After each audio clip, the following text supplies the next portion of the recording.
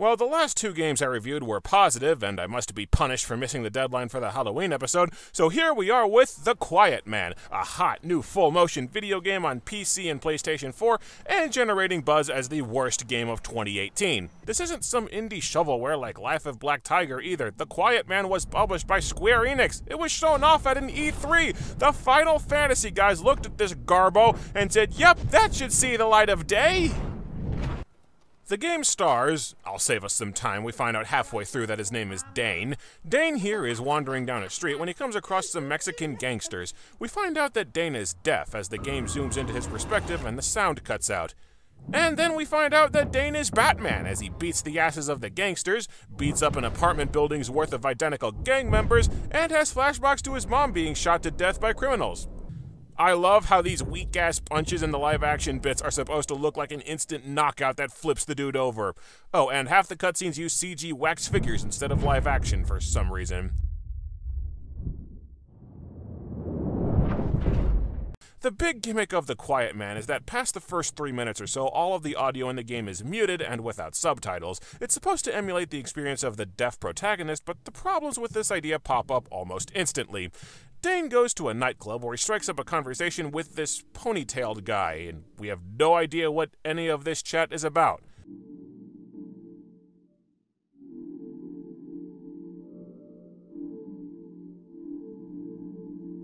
I don't even know who this guy is. He's wearing a tux, seems friendly with Dane.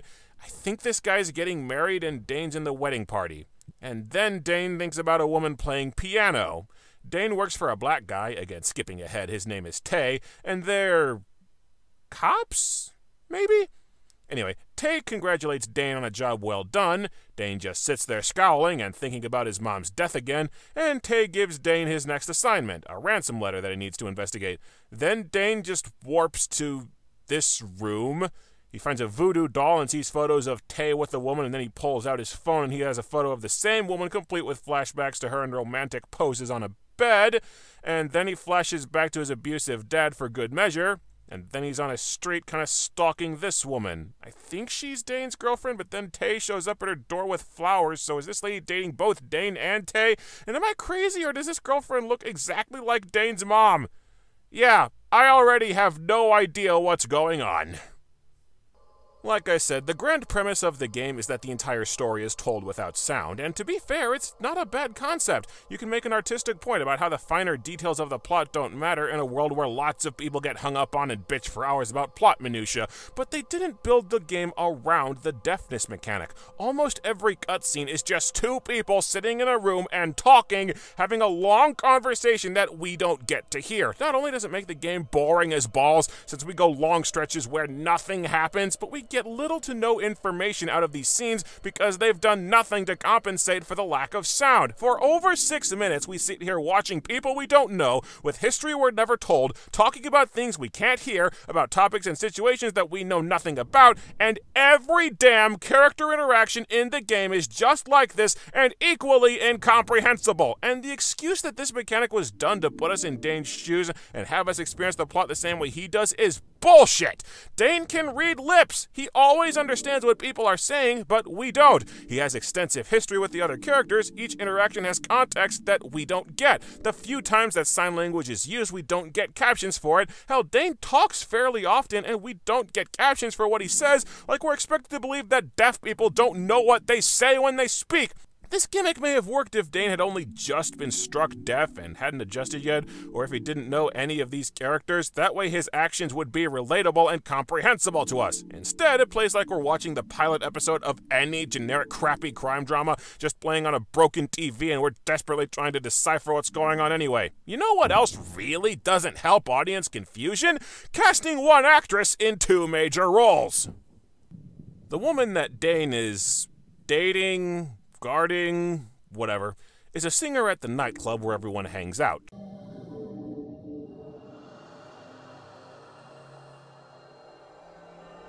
Charting new territory in pointlessness, having a musical number in a game with no sound, and the singer is played by the exact same actress as Dane's dead mom. I am not kidding. I checked the credits. Dane has flashbacks to his dead mom all the freaking time, and new players get confused because we have no idea which character he's flashing back to. So, why is the singer played by Dane's mom in a game that's already designed to be confusing? Well, to steal a bit from Matthew Buck, Symbolism! Dane wants to save the singer because it'll be like he can save his mom and finally get redemption. And being guilty over his mom's death is literally the only character trait that Dane has, so they'll beat you over the head with this metaphor over and over and over again. Anyway, the Mexican gang attacks the club and the singer is kidnapped by a man in a bird mask, so after about 40 shitting minutes of barely touching the controller for a tidal wave of cutscenes, you finally get some real gameplay as Dane sets out to save the singer. The actual gameplay is a dirt simple beat 'em up. X dodges, square punches, triangle does a kick that doesn't seem to do much, and circle usually doesn't do anything, but sometimes it grabs a guy so you can punch him with the same animation about a dozen times. The game is a completely brain dead button masher. You charge into a group of enemies, mash the punch button to beat everyone to death, and pop a dodge every now and then if it looks like you're going to get hit. There are no items, there are no weapons, no special attacks, and there are a grand total of two enemy types in the entire game. You spend the entire game fighting basic goons who don't dodge, never maneuver, and have no special attacks, and the only speck of variety you get is every now and then you fight one guy who can block. It's seriously the exact same fight of pounding one attack button on one dude repeated over and over again. Hell, you even fight the same three identical Mexican dude character models for over half the game. There aren't any puzzles or exploration bits either. You beat up three or five guys in one room, you either walk into the next room or a cutscene drops you into the next room, and you fight the same three to five guys in another empty room. This is all you do for two and a half hours. There is one level where you have to explore a room to find two clues, but it's only a minute long interlude in the 40 minute cutscene bonanza at the start of the game, like they suddenly remembered games have to have some interactivity. There's also a level that's literally 5 seconds long where you just walk down an empty sidewalk. No, I'm not kidding. Level starts. Level ends. I'm still not entirely sure how you're supposed to fight enemies who block. Sometimes your hits land, sometimes they don't, there's no counter move or guard block. I think you're just meant to wail on them and hope that some hits get through, which leads to you getting your ass kicked. Eventually I discovered that if you press L2, Dane enters some kind of Ultra Instinct mode, where all of your attacks automatically land regardless of blocking enemies and no enemy hits can hurt you until you kill someone. I'm not entirely sure how the Ultra Instinct works though. Sometimes pressing L2 always triggers it, sometimes I have to wait a few seconds between uses. Sometimes it seems like I have to land some hits to use it again. All I know is it seems to have infinite uses, and it insta-kills everything but the end bosses. It even wrecks the shit of the Birdman mini-boss that you fight three times.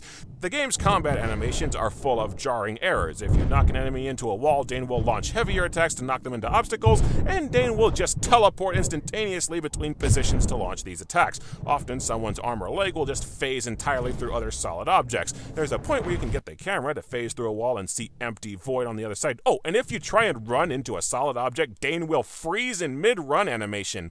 The camera shakes violently while you're in the middle of attacks. I never figured out the significance of the lens flares, and there are several fights where live-action cutscenes play over the combat so that you can't see what you're doing. Oh good, another flashback to Dane's mom. That was worth blocking my view of the combat. You spend about half an hour beating up three to four Mexican dudes, at one point getting saved by the ponytail guy.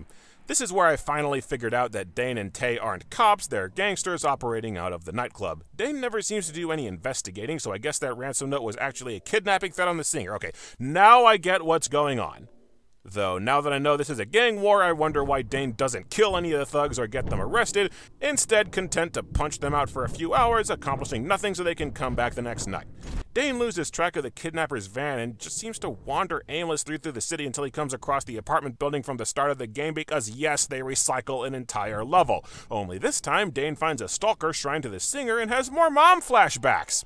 It looks like Dane is friends with a higher ranking cop who seems to cover for Dane's activities, and they go way back because he comforted Dane after his mother died. Oh, come on! I was joking about the Batman comparison. Dane has his own Commissioner Gordon? We're around the game's halfway point, and I don't see why people have been complaining that this game is confusing. Dane's a gangster trying to save his girlfriend from a rival gang. It wasn't that hard to figure out.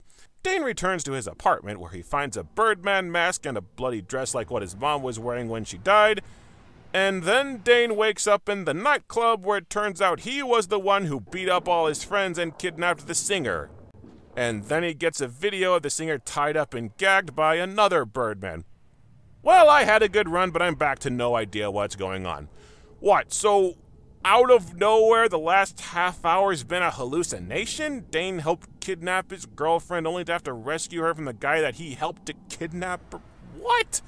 It's like they were deathly afraid that the story was making too much sense. Dane is sent a map, so you beat up more Mexican people until you run into the guy who killed Dane's mom. After an infuriating boss fight that I'll get to later, Dane machine gun punches the guy through a window and then leaps out after him. For a game that's tried to have realistic looking combat animations, this is too cartoonish for the Arkham games.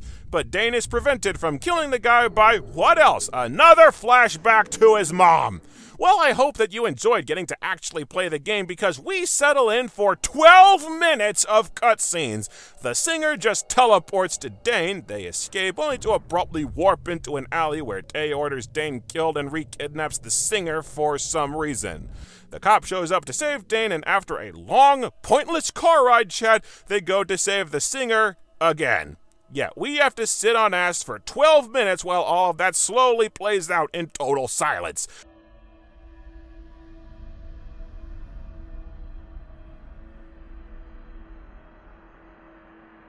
I was going to say that you finally start fighting different enemies as you fight Dane's gang instead of endlessly cloned Mexican guys, but then I noticed that most of the gangsters are either black or some shade of brown skinned, so the game's record is intact. Uncharted would be proud. The boss fights are hands down the worst part of the gameplay.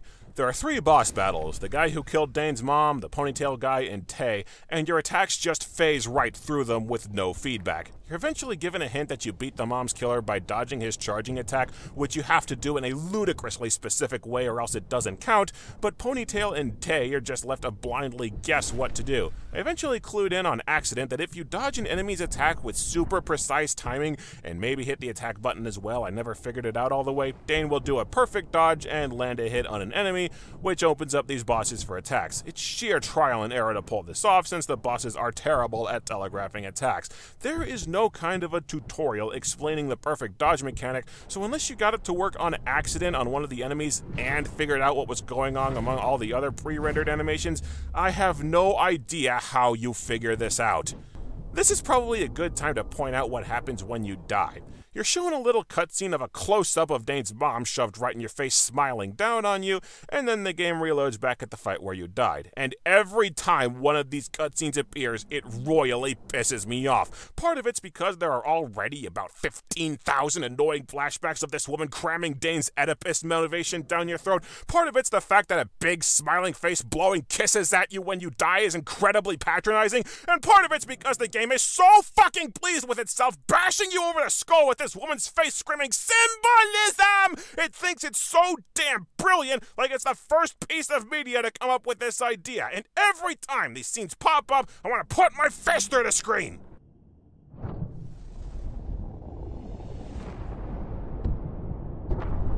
Shit!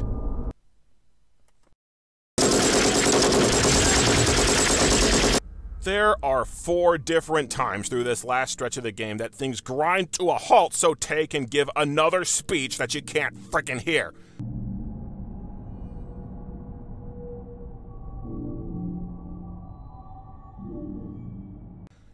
God, shut up and let me punch him already! Taye suddenly remembers that he has a gun and he shoots the cop, and then we get a flashback fully explaining the game's backstory. Taye and the Mexican guy got into an argument over a pair of shoes when Taye pulled a gun. Dane was walking by and ran over to say hi to Taye, causing a scuffle that gets his mom shot. The protagonist's motivation is that his mom got shot over a pair of shoes. The only thing dumber than that is this stupid little kid who ran up to and yelled at a guy very obviously holding a gun. To cope with his mother's death, Dane invents an imaginary bird masked man to protect his mom, and in the present, Dane puts on the bird mask for the last few fights of the game. I guess the implication is that Dane has a split personality, and that's why he hallucinated those levels from earlier.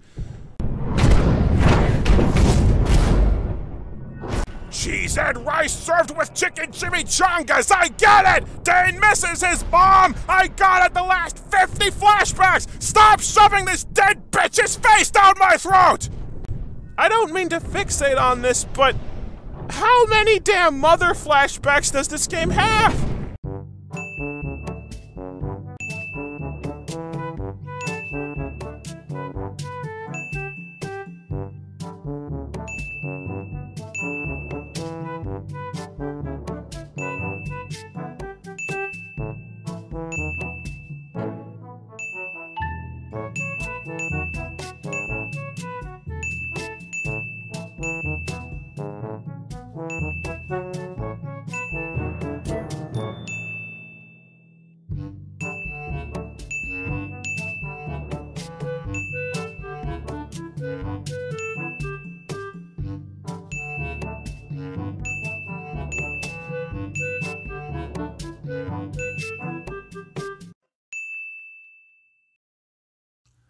Across a two and a half hour game that averages out to a mom flashback every five minutes, not counting flashbacks to the singer. Is it understandable now why this woman's mere appearance pisses me off? Dane fights Taye until Taye again remembers that he has a gun and he shoots Dane in the head.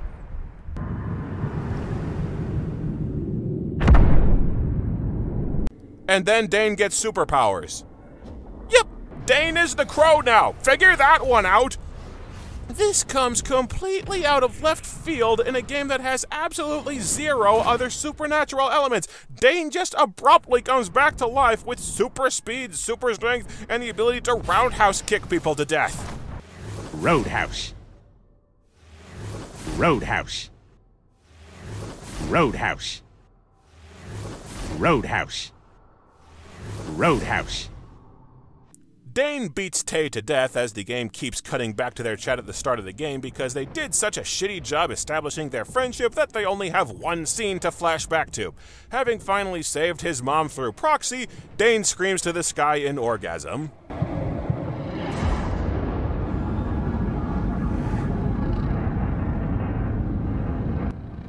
I'd like to say it plays out really dumb without the sound, but it's not much better with sound. We'll get to that. And then the cop also comes back to life, and we find out that he was the other Birdman who kidnapped the singer. So how in the hell did the singer show up unharmed at the Mexican guy's place if somebody else... You know what, screw it. Dane punches out the cop, they both fall down, maybe they're dead, I honestly don't care. And then an unbearably pretentious song about escaping reality plays over the end credits. Because I guess that was the point of the game this whole time? Rest assured that love lies beyond. Yeah, the player's rage lies beyond words, too. What the hell was the point of that? Any of that? The whole game! So, the end. Except not really. After the credits, the game rewinds to various key scenes with the sound restored, and it cuts to show the singer arranging her own kidnapping with the cop to escape the mafia. So congratulations, Dane, your Oedipus complex prevented an innocent woman from escaping the mob. Dumbass! This is a teaser for The Quiet Man Answered, a second playthrough with the sound turned back on that was patched in a week after the game's release, and the game had a countdown to the patch's launch when it came out, so they planned on adding the sound back in from the get-go. In theory, promising a second playthrough that adds more subplots to the game isn't a bad way to sustain hype, but so many people found the base game to be so thoroughly incomprehensible that this teaser plays more like, the game will make sense this time! I don't buy for a minute that the game without sound that patched in sound was written or shot with the deafness mechanic in mind. Through the entire game, people carry on normal conversations and nobody acts like Dane is deaf. The cop talks to Dane with his back turned, making sure that he won't pick up a word that he's saying. I truly believe this game was written and acted as a run of the mill crime drama story, and then they tacked on the deafness mechanic after the fact, either deciding that the game needed a sales hook or just realizing that the game sucked and it needed some kind of a gimmick to look deep. As a result, you're forced to do one intentionally boring and confusing playthrough before you get the actual game. So, let's play through this shitty game again for you people And let's see if the answered playthrough is worth it. Pretty much everything that I deduced about the plot was correct. Dane and Taye are gangsters with a rivalry with the foreign gang. Only on the second playthrough, we learn that the gang is Dominican. The singer's name is Lala, and she's dating Taye. She has no relationship with Dane at all, which makes his obsession and stalking extra kinds of creepy. The main thing that I got wrong is that the cop is not Dane's friend on the force. He's Dane's abusive dad, who blames Dane for the mother's death and throws it in his face every single chance that he gets. You can understand my confusion thinking they were friends, given we almost never see the cop in live action, and his character model is always smiling.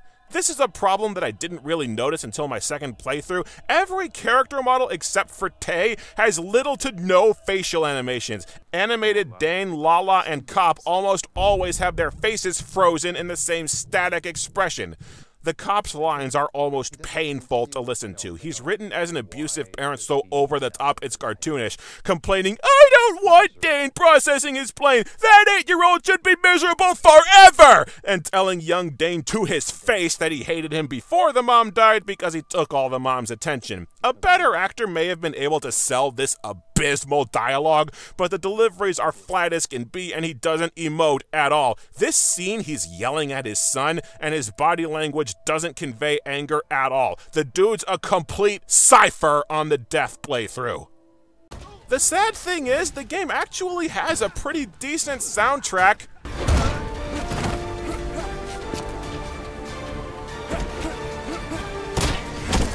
And Taye's actor gives a pretty solid performance once you can freaking hear them. About. This is about us. We've been family for years. And nothing's ever come between us until tonight. Until her. Apart from that, though, the second playthrough is somehow even more boring than the first. Thing is, I was kind of engaged with the game on my first run because I was paying close attention and trying to decipher out the plot, but once you know what's going on, the second playthrough is boring. It's just a bog standard crime story about a bland ass, one dimensional character and the plot device woman devoid of personality or agency that he has to save. There is nothing else going on. The sounded playthrough also gives us this line of dialogue from a cop radio transmission when Lala is kidnapped. We're just going off a chatter right now and don't want the whole goddamn ACLU up our dicks just because we infringe someone's right to be an asshole. You know, Angry Joe was wondering if the game was made by some angry racist guy since you spend the entire game beating up minorities. I'm starting to think he had a point. I also opted to try the game's hard difficulty. It's the same as the normal difficulty, only with about a third of the health bar. The guys holding machetes and the bosses who need to be dodged with ludicrously perfect timing to make them vulnerable, they now have attacks that kill you in one hit. Luckily, you can change the difficulty at any time once you realize how broken the hard mode is. The sounded playthrough explains that Lala arranged her kidnapping with the cop to escape the mob, and then it's implied that the cop played the situation to goad Taye and Isaac into a gang war, thus killing everyone responsible for his wife's death. This, however, tacks on its own plot holes about why Lala appears after the Isaac boss fight rather than making her getaway, or why she never attempts to explain the situation while Taye and Dane go to war over her. It feels like that entire arranged kidnapping plot point was thought up after most of the game had already been shot because it only comes up in one scene. Even with the sound turned on, the game never explains what was up with that Dane actually helped the kidnapping bit or why Dane abruptly gets superpowers. Neither of the game's most confusing ass plot holes are so much as mentioned. It's explained that Dane's Birdman persona is a quite literal superhero that he invented called Quiet Man, an alter ego that Dane fully embraces for the final levels. So even though I wrote those jokes long before getting to this point, this is indeed a superhero story even though nothing superhero related enters the story until the last few minutes. I think that the game is trying to take the piss out of superhero mythology, casting characters like Batman and Spider Man as repressed man children who only beat up bad guys out of frustration that they can't save their loved ones. Dane is mocked by just about everyone in the game for having such a stupid and simplistic motivation, and he easily just up and quits being the quiet man once he gets his revenge and processes his mother's death properly. Thing is, though, Batman and Spider Man fight crime because because they're moral characters who want to do good for the people in the world around them. Their loved ones' deaths were just the calls to action that set them on the path to heroism. Dane just punches out gangsters because he's mad about his mom 24 7, and that is literally the only thing he's got going on in his life. He's a selfish, laughable, unlikable, boring ass, one dimensional character. If they were going for a jab at the superhero genre, they failed miserably at it because they didn't understand what they were riffing and they wrote the most shallow protagonist imaginable. And there's also the fact that Batman only flashes back to his dead parents maybe twice per any given series. The last stretch of the game is really nonsensical with the sound turned on. Taye keeps trying to make amends with Dane, who refuses to explain what's going on and insists on betraying his friend for no reason. When you fight Ponytail Guy, whose name is Bad Cock, incidentally, he yells at Dane for breaking his nose and breaking his car window after the kidnapping, even though one of those happened in the level Dane hallucinated and the other happened in the flashback to what really happened. No wonder players found the plot confusing, the game can't keep its own story straight! And then this happens after Dane lets go of his quiet man persona. I can't. Why can't I hear? What? Why can't I hear? You can't hear because you've been deaf your whole life, dumbass! What is that line even supposed to mean? Symbolism has to be comprehensible, douchebag! Cop Dad tries to kill Dane because he's still wittering on with his everything's your fault crap, and he's also obsessed with Lala as a stand in for the dead mom whose death he can't accept. Again, you could argue this is their take on the villain is dark version of the superhero trope. They knock each other out, the pretentious song at the end is recut with flashbacks of the dad because I guess this was supposed to be his story now, and there's a new stinger after the credits where Dane gets out of prison and starts to reconcile with his father, and nobody cares because they're both gigantic asses. Now, the game is over. The Quiet Man is complete shit. There isn't a single thing that it gets right. The gameplay is literally nothing but single button mashing to fight one cloned enemy about a hundred times. The story is a bog standard crime drama centered around a one dimensional and unlockable protagonist, and the game is so insufferably pretentious like it's in deep denial over its own simplicity. The deafness mechanic was obviously thrown in after the fact to give the game a pointless gimmick in exchange for ruining the performances and rendering key parts of the plot incomprehensible, the game is unreasonably proud of building its plot around symbolism so basic that it was the plot of last week's episode of Magnum PI. The plot is so full of random plot points and themes that don't connect, I'd swear the game was constantly rewritten as it was being shot. It pulls messages out of thin air to bullshit you into thinking that the game is deep, and it out of nowhere takes a major detour to take a mean spirited and inaccurate pot shot at the superhero genre. The game's not only bad, it's the kind of bad that royally pisses you off off. That smug dumbass at the party who mouths off to everyone in earshot, convinced he's the smartest guy in the room. The only good thing I'm taking away from this game is the PS4 theme that comes included the creepy stalker shrine with your icons replaced with damaged sheets of paper and ominous music. It's not a bad atmospheric Halloween wallpaper, except it reminds you that you paid money for the Quiet Man. But in keeping with the deafness theme, let me close out my thoughts via sign language.